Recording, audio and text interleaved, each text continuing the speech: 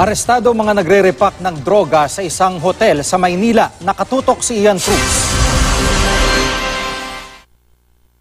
Naakto ang nagre-repack ng bloke-blokeng pinatuyong marijuana ang labing isang individual sa hotel sa Tondo, Maynila.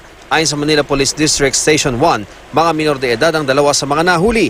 Naisagawa raw ang operasyon matapos silang makatanggap ng tip mula sa isang minor de edad na bumili naman daw ng marijuana sa grupo.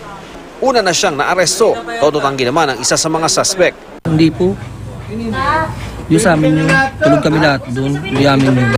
Patuloy na inaalam ang kabuang halaga ng nasabat na 7 kilong marijuana maging ang supplier nito.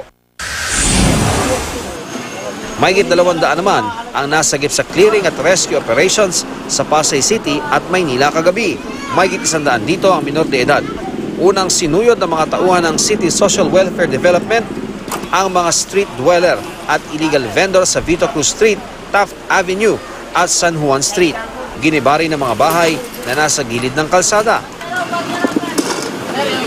Nakuha naman ang tatlong bote ng solvent sa Center Island ng Buendia Avenue. Layunin ng operasyon na masagip ang mga palaboy na nakatira sa boundary ng Pasay at Maynila. Ian Cruz nakatutok 24 oras.